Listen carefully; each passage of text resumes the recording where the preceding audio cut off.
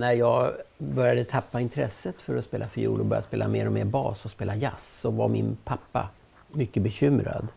Så gick han till min fiollärare och sa jag är så bekymrad för min son vill bara spela bas och vill bara spela jazz.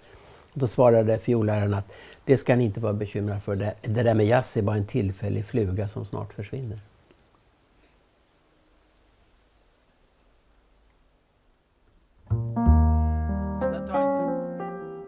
Kan ta en upptakt va?